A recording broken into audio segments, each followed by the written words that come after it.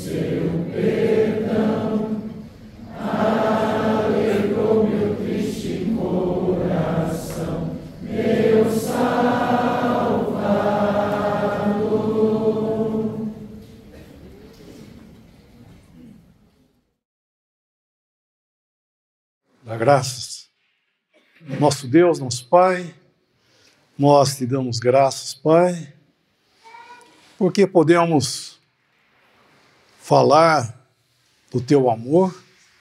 Obrigado pelo filho que tu deste. Obrigado por essa pessoa que desceu do céu.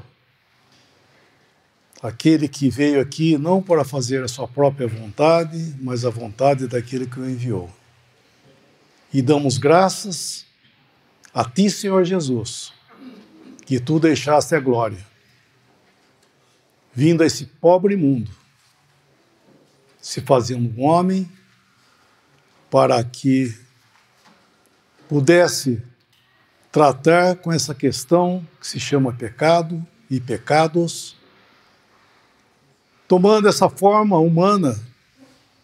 E nós agradecemos por essa humilhação porque tu vieste deixando a glória para pisar aqui nesse pobre mundo onde todas as coisas eram contrárias à tua santidade. Nós agradecemos por esse amor e também pelo teu propósito, que tu vieste para dar a sua vida, ó Senhor, para que Deus fosse glorificado e para que tu pudesse também, dessa forma, nos alcançar. Obrigado pelo conhecimento que nós temos daquilo que tu fizeste e também nós agradecemos pelo conhecimento daquilo que ou de quem tu és. Nós agradecemos, Senhor Jesus, e também nós expressamos nossa dependência quando estamos aqui meditando sobre a tua pessoa, a tua santa pessoa, e pedimos também que nos ajudes a falar daquilo que é justo de ti e da tua pessoa, Senhor. Nós agradecemos e nos encomendamos a ti e a ti também, nosso Deus, nosso Pai, nós agradecemos por tudo aquilo que tu nos tem dado conhecer, pela tua palavra e o Espírito Santo que habita em nós. Nesse nome tão glorioso e bendito de nosso Salvador Jesus. Amém. Amém. Eu quero voltar outra vez lá em Coríntios 15, que é o Evangelho, né? Então, lá nós temos o Evangelho também.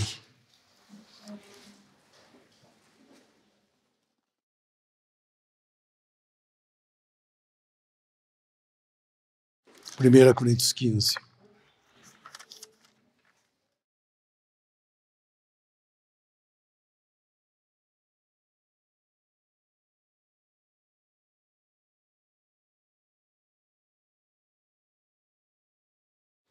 Versículos 3 e 4. Porque, primeiramente, vos entreguei o que também recebi, que Cristo morreu por nossos pecados, segundo as Escrituras, e que foi sepultado e que ressuscitou ao terceiro dia, segundo as Escrituras. Aqui, o apóstolo está falando de algo que é profético, aquilo que as Escrituras já continham, o anúncio do Cristo vindo para morrer. Isso nós vemos uh, em várias passagens. Um exemplo também que nós conhecemos bem é Isaías 53, e nós vemos os uh, sofrimentos de Cristo e tudo mais. Né? Então havia já desde antemão várias passagens que nos falavam da, dos sofrimentos de Cristo. E, e é interessante que fala da morte dele e também fala assim que ele foi sepultado segundo as Escrituras. E depois fala da sua ressurreição. Então, estava pensando que interessante essa, essa ordem né, que Paulo coloca, porque é o trajeto, é o trajeto da obra de Cristo para Deus e para nós, e também para o seu povo, que era segundo as Escrituras, era o povo de Israel. O Senhor veio para o que era seu. Os seus não receberiam, mas ele veio para o que era seu. E ele foi à cruz para dar a sua vida pelo seu povo. Quando foi colocado em cima da cruz, este é Jesus Nazareno, o rei dos judeus, aquilo foi ah, Pilatos que colocou, com o fim de zombar né, os, os judeus, mas aquilo era um fato. O Senhor permitiu que ele fizesse aquilo porque aquilo era o fato. Realmente aquela pessoa que estava na cruz era o rei morrendo pelo seu povo. Aquilo que estava aqui nas segundas escrituras estava tendo cumprimento. Aquele homem tinha que morrer. E ele seria aquele que veio para que existisse ou melhor, para que a nova aliança pudesse vir para o seu próprio povo, que é o povo de Israel. Quando antes da sua morte, quando ele celebrou ali com os seus discípulos, ele disse: esse é o sangue, o sangue na nova aliança derramado em favor de muitos. Ou seja, era o sangue dele que ia derramar para que a nova aliança com o seu povo pudesse ser estabelecida. Então existe uma bênção preparada para o seu povo que vai se cumprir. Por quê? Porque ele morreu ali por, pelo seu povo. Ele deu a sua vida por, pelos judeus e por, por todo Israel também. Só que nós vemos aqui agora em Paulo, né, porque Paulo está escrevendo isso segundo as Escrituras, ele estava mencionando. Só que daí ele começa a traçar um assunto, ele vai falar dos propósitos de Deus em Cristo Jesus. Porque se nós vamos lá para os evangelhos, falamos outra, falamos outra vez, falando outra vez. Se nós vamos para o evangelho, vamos pega pela mão e a escritura nos leva lá nos evangelhos. Então nós chegamos lá na cruz e nós olhamos, vemos quem? Esse é Jesus Nazareno, o rei dos judeus. É ele dando a sua vida ali, esse homem rejeitado pelo seu povo, mas tudo segundo os propósitos de Deus. E é interessante, irmãos, que as coisas que acontecem segundo os propósitos de Deus não inocenta o culpado. Porque, por exemplo, uh, tem um versículo lá em, em Atos, Atos 2, por exemplo, quando a pregação de Pedro falando para com os, o povo judeu,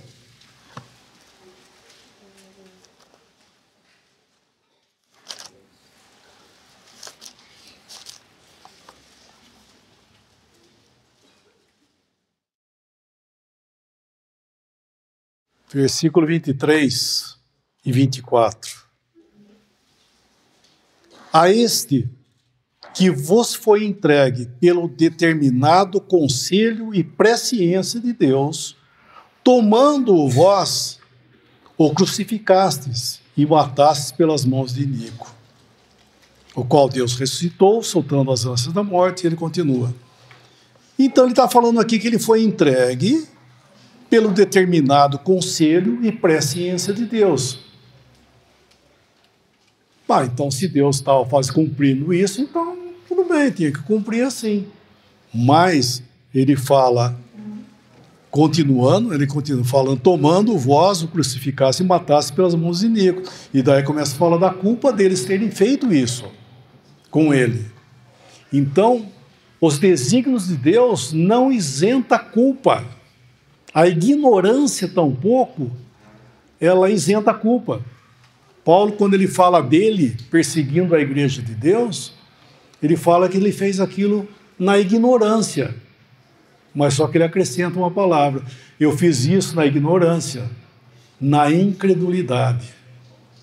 Ou seja, ele era culpado daquilo que ele estava fazendo. Não é porque ele era ignorante que ele era, ficava desculpado, né? não é desculpado. E assim, Uh, daí nós vemos que na, na, doutrina de Paulo, né, na carta de Paulo, Paulo agora vai pegar o cristão, né, aquele que crê já no Senhor Jesus, ele vai pegar pela mão e ele ele nos leva à cruz, segurando pela mão, embora o Senhor não está na cruz, tá, gente? Por favor, nos leva à cruz. E quem que nós vamos ver, ver lá na cruz? Nós vamos ver que é aquela pessoa dando uma vida, dando a sua vida ali para salvar um povo. Quem? Israel? Não, Israel é lá nos evangelhos que nós encontramos. Nas cartas de Paulo, é Cristo amou a igreja e a si mesmo se entregou por ela.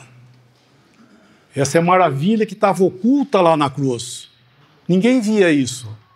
É na doutrina de Paulo que nós vamos encontrar Cristo dando a sua vida, o Senhor cabeça, né? Aquele que amou a sua igreja e se entregou a si mesmo por ela. Então, aqui na nossa carta de, de Coríntios, nós estamos encontrando esses desígnios da Escritura traçado pelos os passos do Cristo, né, do Senhor Jesus. Então, nós estamos vendo o quê? Que tinha que acontecer esse trajeto, porque é por aí que existe salvação para todos. Não é só para Israel, é para todos. Agora, Paulo está falando que agora a salvação é para todos. E o Senhor fez algo aqui também. Deixa eu abrir na minha, minha Bíblia aqui que é mais fácil. Lá em Coríntios 15, né, que nós estamos.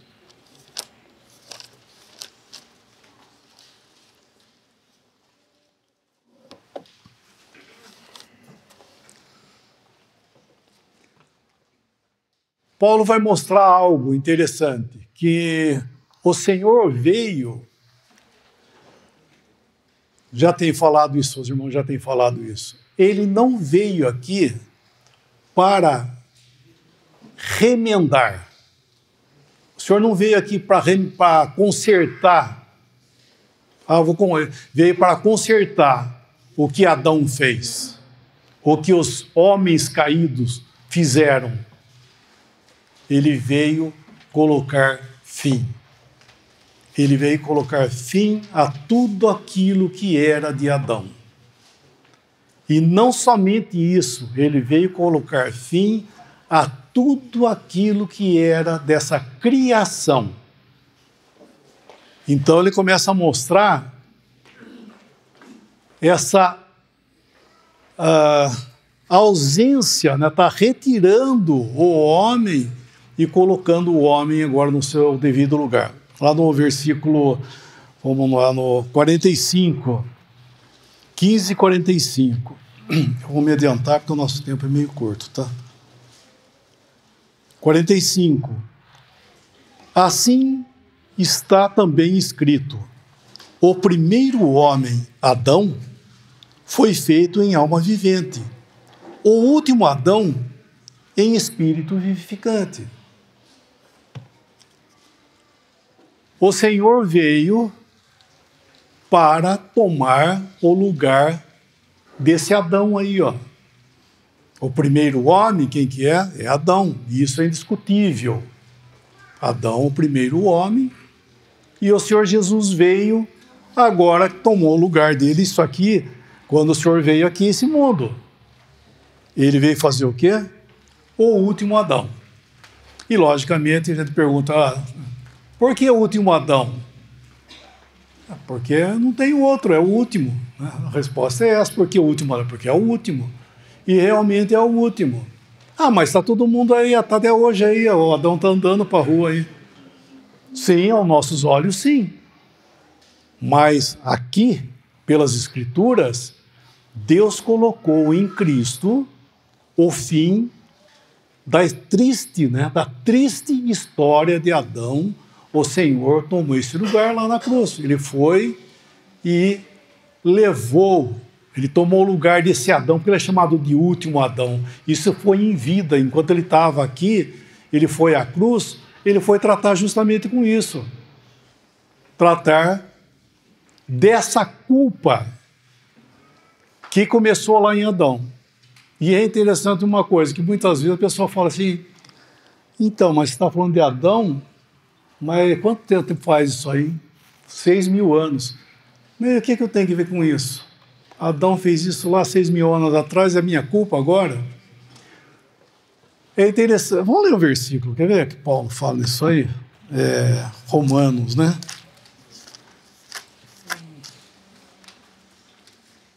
Deixa eu ver se é, é Romanos. É isso mesmo, Romanos, ah, você conhece já, Romanos 5,12, né? Romanos 5,12. Ele diz assim, ó. Pelo que? É, Romanos 5, versículo 12. Pelo que? Por um homem entrou o pecado no mundo, e pelo pecado a morte. Assim também a morte passou a todos os homens. Por isso que todos pecaram.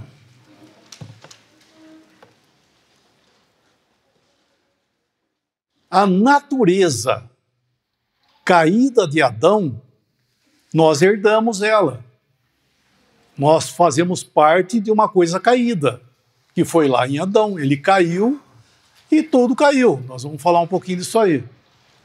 Só que não foi somente a natureza caída que nós herdamos, e está tudo bem? Não, por quê? Porque todos, todos pecaram aqui, nós estamos pecando.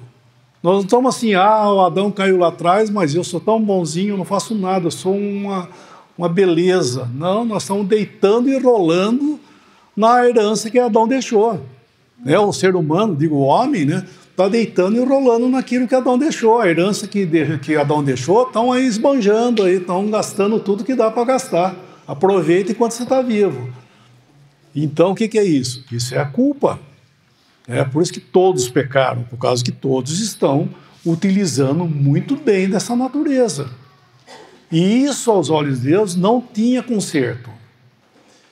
E você vê que a gente vê como é interessante, porque ele fala aqui que, nesse versículo que acabamos de ler, que foi por Adão, nesse um homem, e foi Adão que entrou o pecado no mundo. E é interessante porque fala que entrou o pecado. Porque o pecado, ele já existia. É, o, pri o primeiro pecador foi Satanás. Ele foi o primeiro pecador. Isso há não sei quanto tempo atrás, nós sabemos quanto tempo atrás. Que houve uma rebelião, né, se, por orgulho, inclusive, começou o assunto assim, né? Pelas escrituras a gente vê que ele elevou-se, nosso coração se elevou e ele queria ser igual ao Altíssimo.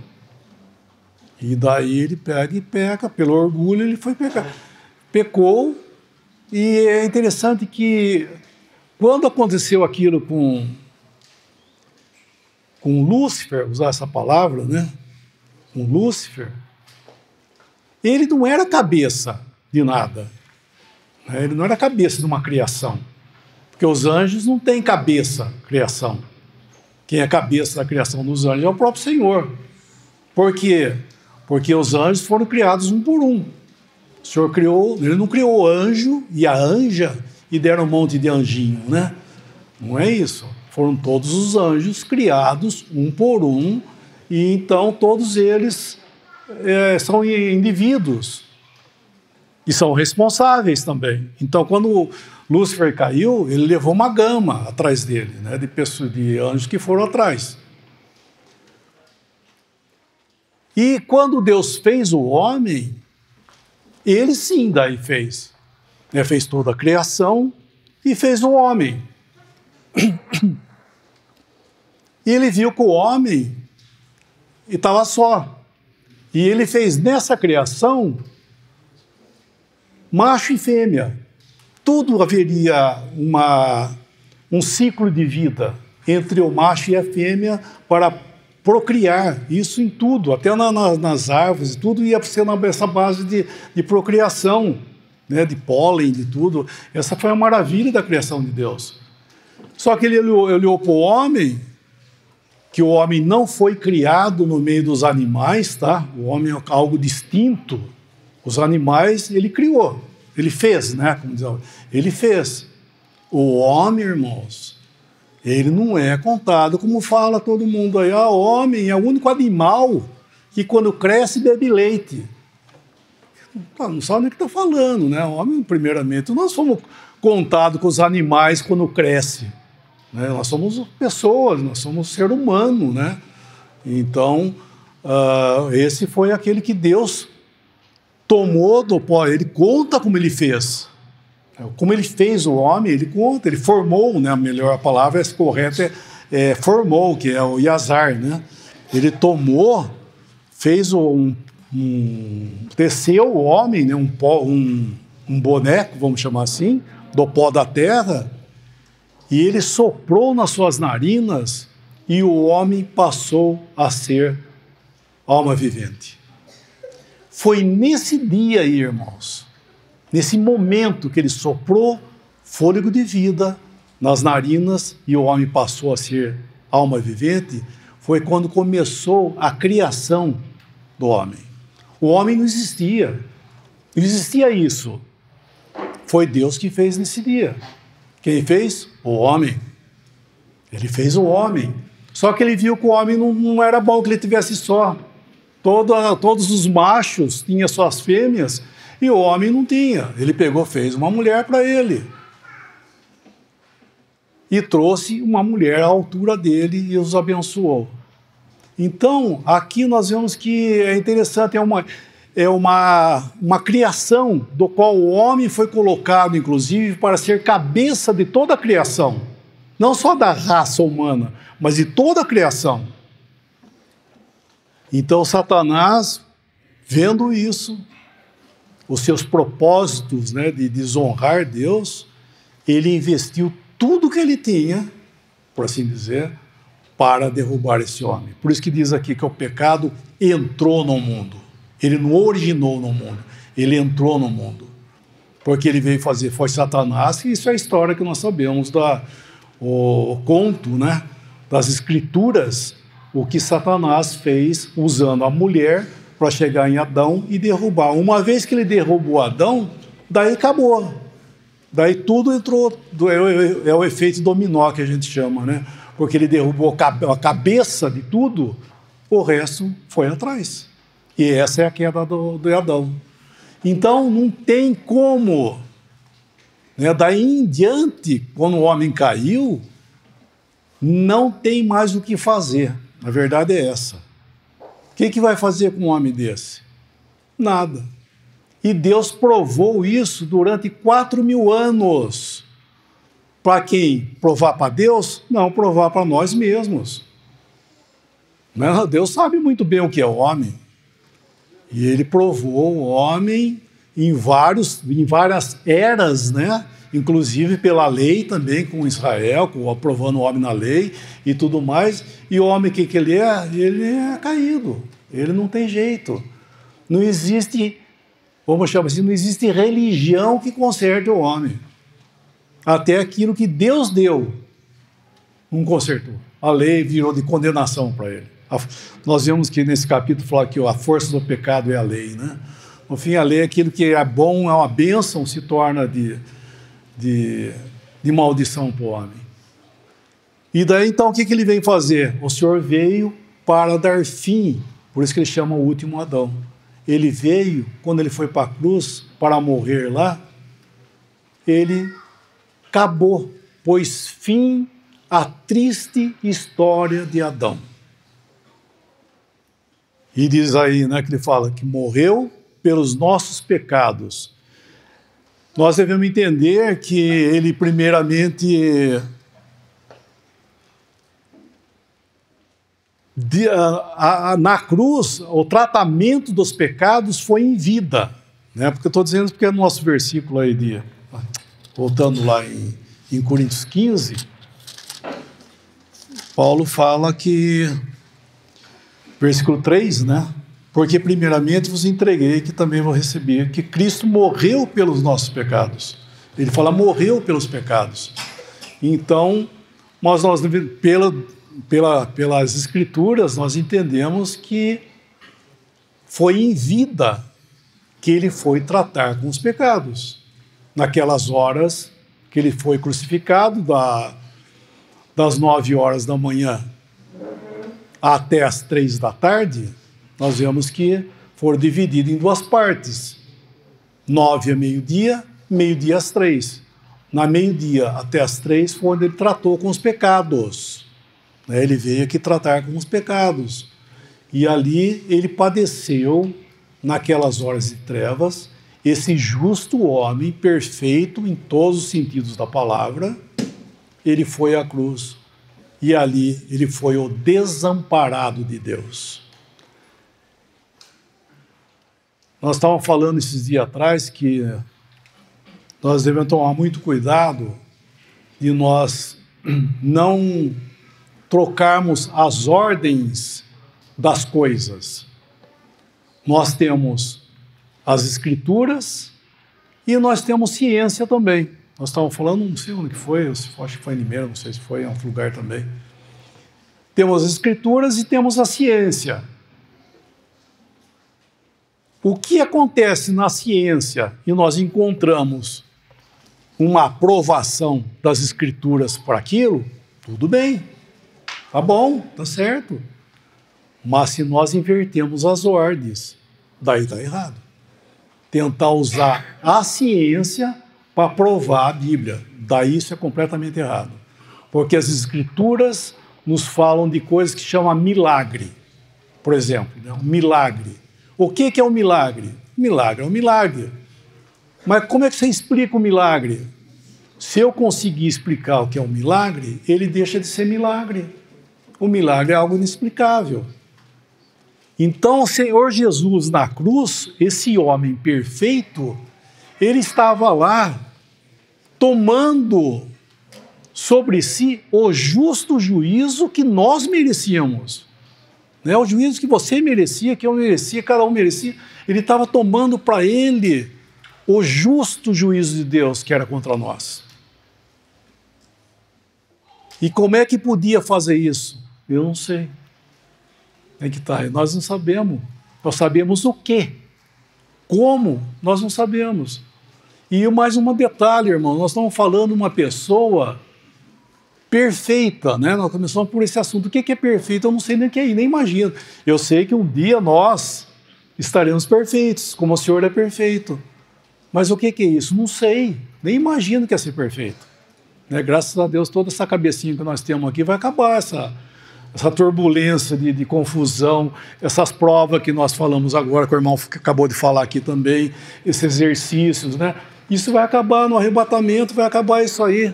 Nós estaremos como o Senhor é, fisicamente e moralmente. Mas voltando a Ele, então, o Senhor estava essa perfeição. E assim, quando nós mexermos falarmos, que eu digo mexer, é falar do Senhor e daquilo que ele fez e tudo. Nós devemos tomar cuidado de ficar somente até onde a Escritura nos leva. Porque o Senhor foi dado para ser crido, não para ser analisado. Aí, às vezes nós temos, queremos analisar, mas como? Daí começa a querer ver como. Irmãos, cuidado, porque o irmão falou, um irmão falou uh, sobre a arca e o propiciatório, né, que ó, onde Deus era propício para o povo. Então aquela arca, onde que o propiciatório cabia certinho em cima dela, que era um tampo da arca, aquela arca era uma figura do Senhor. Porque ele era o quê? A, a figura da presença de Jeová no meio do seu povo. E aquela arca foi feita de madeira e revestida de ouro. O que, que é isso? A madeira nos fala da humanidade e o ouro nos fala da divindade. Então o Senhor era um homem e era Deus ao mesmo tempo, porque ele era Deus, era uma pessoa da divindade. É aquele que era espírito, né? Porque, porque Deus é espírito. Só que ele saiu dessa posição e se fez homem também, não deixando aquilo que ele é, porque ele, ele é o que ele é.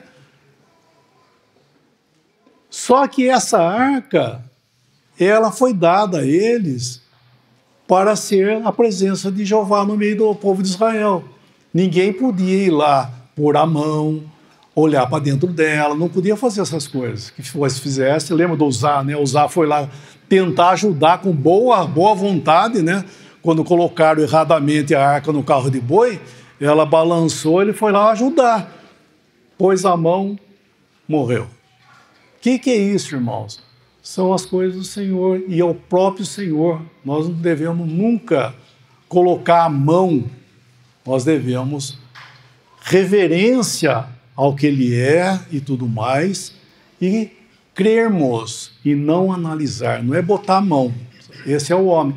Isso é doutrina de Paulo em 1 Coríntios capítulo 2, quando ele fala das das revelações de Deus para nós, nas comunicações de Deus para nós, ele fala que todas as comunicações de Deus a nós é de forma espiritual e por meios espirituais. É, lembra desse versículo? Segunda, é, perdão, 1 Coríntios 2, 13, né? Ele fala, essas coisas também falam. Vamos ler esse versículo, por favor, só para. Eu vou ler nessa outra versão aqui. 1 Coríntios 2, ele fala, versículo 13: Disso também falamos, 1 Coríntios 2, 13. disso também, quando ele está falando a comparação do homem natural e do homem espiritual. Disso também falamos, não com palavras ensinadas pela sabedoria humana, mas ensinadas pelo Espírito, maiúsculo, Espírito Santo, comunicando coisas espirituais por meios espirituais. O Espírito Santo usa e comunica coisas espirituais por meios espirituais e não por meio natural. E isso é o quê? É querer botar o mãozão. É o homem querer botar a mão nas coisas de Deus, botar a mão na, na arca, enfim, for querer mexer. Então, nós temos o quê? Nós temos o Senhor dado. O Senhor foi dado, e aqui está falando que ele foi à cruz para morrer. Mas só que nós vemos que ele tratou com os pecados enquanto ele estava vivo. Eu estou dizendo a ciência porque aquele dia, na hora que deu meio-dia, fala que fez trevas sobre toda a terra. Sabe por que eu estou falando isso? Porque alguém falou assim: ui, sabe que é verdade isso? Isso é verdade, sabe por quê? Existe um estudo lá na NASA que fala que aquele dia lá realmente existiu uma. Como é que chama? Hã? Uma eclipse forte. É isso que está escrito, irmão? Não. Nesse dia foi o dia que Deus virou as costas para esse mundo. Deus virou as costas para esse mundo, por isso que fez trevas sobre toda a terra. Ele lançou justo juízo dele nesse mundo. Só que existia uma bendita pessoa ali que estava sendo aquele que estava tomando para si todo o juízo de Deus. Olha que maravilha isso. Ele tomou sobre si ali toda a questão do pecado, tudo. Ele estava tratando com isso, irmãos. E esse, e esse justo juízo de Deus, toda a carga que ele tinha, ele lançou, e como diz, até a última gota o Senhor tomou do cálice do juízo de Deus. Ele bebeu o cálice do juízo de Deus até a última gota. E quando isso aconteceu, daí volta outra vez, às três horas, a ficar tudo normal. Porque passou eclipse? Não. Deus tratou com os pecados. Foi isso que aconteceu. E o Senhor foi para a sepultura, não vai dar tempo de falar, o Senhor foi para a sepultura, sepultado. E quando fala que Cristo morreu por nós, irmãos, é porque acabou. É ele não somente em vida fez tudo aquilo, mas quando ele morreu, quando ele viu que estava tudo consumado, né, ele, ele entrega a Deus, se entrega a Deus. Pai, nas tuas mãos eu entrego o meu espírito. E havendo dito isso, expirou e morreu. E na sua morte, né, ele levou tudo embora. Ele não foi tratar com o pecado, como diz as heresias aí. Aí ele morreu e foi tratar com o pecado, foi lá, não sei. Não, ele estava no lugar dos justos. Ele foi sepultado, a sua, o seu corpo, nós temos falado, os irmãos têm falado, o corpo na sepultura, e o eu dele, ele, ele estava em Hades, lá na sala de espera, juntamente com os justos. Por isso que ele falou para o malfeitor: Hoje estarás comigo no paraíso porque ele foi para lá. É isso a pregação, inclusive a pregação de, de Pedro no capítulo 2, ele fala muito claro isso. Não deixarás a minha alma no Hades, e nem permitirás que o teu santo veja a corrupção. Falando disso, estava falando da ressurreição de Cristo, que a sua alma não foi deixada no Hades, nem o seu corpo viu corrupção. Então, ele ficou nesse lugar não para tratar com pecado, isso ele tratou em vida. Mas quando fala que ele morreu, porque ele levou embora. Lembra daquela, daquela oferta dos dois bodes que era trazido para o sacerdote? Haviam vários, né? Uh, vários sacrifícios, ofertas pelo pecado que havia em Israel, e uma delas eles traziam dois bodes. E o sacerdote lançava a sorte, e um era escolhido para morrer e fazer o trabalho sacerdotal ali. E o outro, ele punha a mão na cabeça e confessava os pecados do povo, né, no caso de Israel, confessava os pecados, e daí um voluntário, um emissário, pegava aquele bode e levava ele para o deserto, qualquer lugar mais longe possível, e largava o bode lá e voltava embora, e o bode sumia. Isso é Cristo morrendo. Ele fez a obra, ele morreu, né? Morreu pelos tratou com tudo, né? A obra de expiação, de tudo mais. E depois esse bode vivo representa o quê? O Senhor indo à morte para levar embora, para nunca mais nós pensarmos, né? Em questão judicial sobre os nossos pecados. Tudo ele fez. Como diz lá Miqueias, ele lançou os nossos pecados nas profundezas do mar. Então isso é um gozo, né, de saber que Cristo ele morreu uma única vez pelos pecados e isso foi feito. E agora o que, que ele está fazendo? Ele está pegando o cristão e ele está tá trazendo ele para essa bênção desse terreno de, de conhecimento que Paulo está levando, está trazendo aos cristãos inclusive nesse capítulo, exortando eles ao que eles estavam fazendo com aquilo que o Senhor, que o senhor fez, né? aquilo que eles estavam falando, essa heresia, dessa maravilha, porque Cristo ele não ficou na morte, ele ressuscitou. Cristo ressuscitou, ele não ficou na morte, ele ressuscitou por quê? Porque agora ele volta lá outra vez, vai. 1 Coríntios 15, rapidinho aqui que já está terminando o tempo. Uh,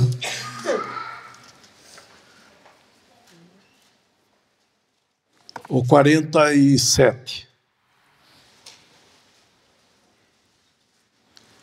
O primeiro homem da terra é terreno, o segundo homem, o Senhor, é do céu.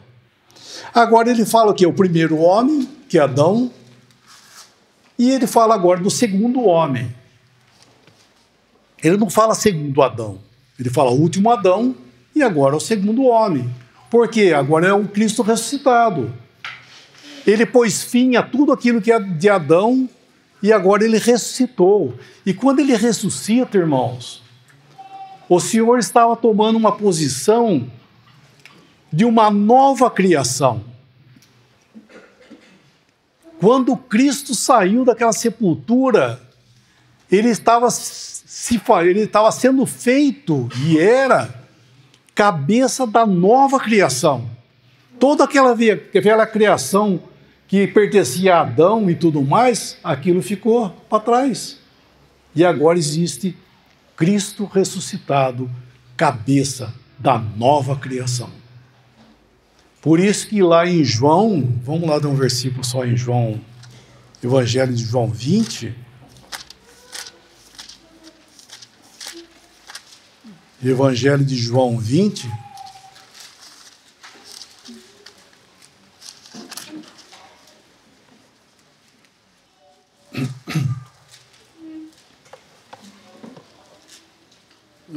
O início do capítulo.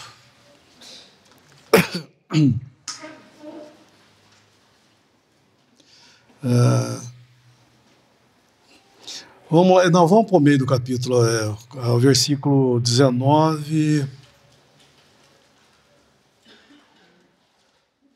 Vamos ler o versículo 21, vai. É, capítulo 20 de, de João, versículo 21. Disse-lhe, pois, Jesus outra vez: Paz seja convosco. Assim como o Pai me enviou, também eu vos envio a vós. E agora, ó, e havendo dito isto, assoprou sobre eles e disse-lhes: Recebei o Espírito Santo. O que, que, é isso? Por que isso aí? Ah, é Atos 2? Não, lá é outra coisa. Aqui era ele saindo da sepultura no primeiro, o primeiro dia que ele saiu, que era o domingo, no final da tarde, ele já apareceu aos seus discípulos e ele estava agora inaugurando a nova criação. A nova criação, o fôlego de vida é o Espírito Santo. A velha criação era o sangue. A vida da alma estava no sangue.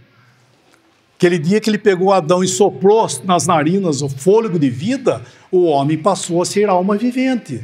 Era isso que nós temos aí até hoje. que estamos sofrendo as consequências da queda. Agora, ele saindo da sepultura, um homem ressuscitado dentre os mortos, né, que é o assunto de Paulo ali, a ressurreição dentre os mortos, que não era apenas um homem sendo ressuscitado, mas uma ressurreição dentre os mortos, uma, uma ressurreição do homem para entrar em glória. Só que ele, sendo esse primeiro homem, e sendo ele também o Senhor, que ele mesmo que pegou Adão lá e soprou nas suas narinas o fôlego de vida, para que ele passasse a ser cabeça dessa, dessa criação, agora ele mesmo sendo o Senhor, ele soprou o fôlego de vida da nova de criação, que é o Espírito Santo.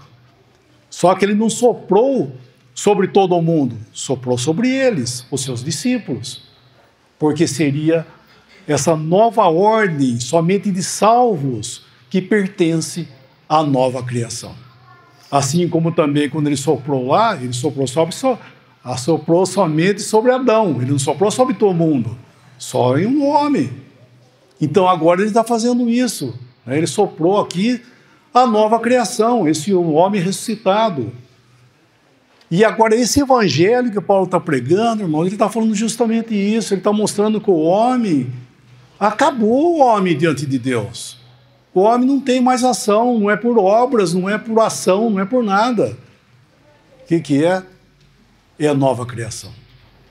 O homem hoje só pode estar em duas posições: ou ele está em Adão, ou ele está em Cristo. 2 Coríntios 5,17 diz assim: se alguém está em Cristo, é nova criação. Fazemos parte, irmãos, nós, se você crê no Senhor Jesus, você faz parte da nova criação. Uma nova criação que está para ser manifestada. Agora, se você não está em Cristo, você está em Adão e você faz parte do que?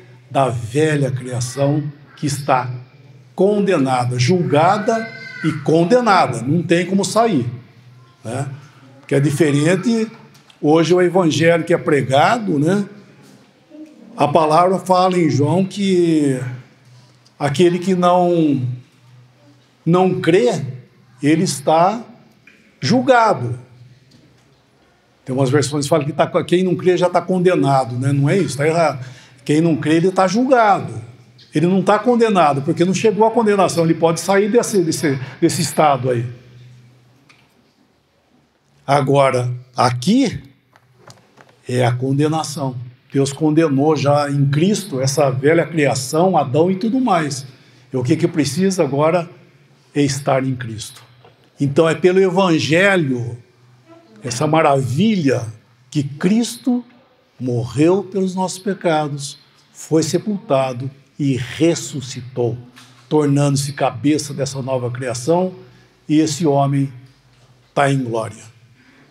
Está, a, está prestes a se manifestar para dar início à exposição da nova criação, que vai começar pelos crentes, porque no dia que ele se manifestar, que não vai ser a esse mundo, vai ser somente aos crentes. Esses crentes serão levados embora desse mundo perfeitos, porque farão parte, fazem parte já da nova criação que há em Cristo Jesus. Então, esse é o Evangelho. Esse é o descanso né, da obra de Cristo por uma pessoa. Se você crê no Senhor Jesus como seu Salvador, você tem vida eterna. Todas as coisas estão garantidas por aquilo que ele fez não por aquilo que você fez ou faz, é por salvação pela graça de Cristo por nós. Está dando o nosso horário. Vamos dar graça? Senhor Jesus, nós agradecemos a Ti, Senhor, mais uma vez por Teu grande amor. Obrigado, Senhor, porque nós temos um homem na glória, um homem que esteve aqui para resolver esse problema tão sério que existia e nós damos graças, Senhor, que nós podemos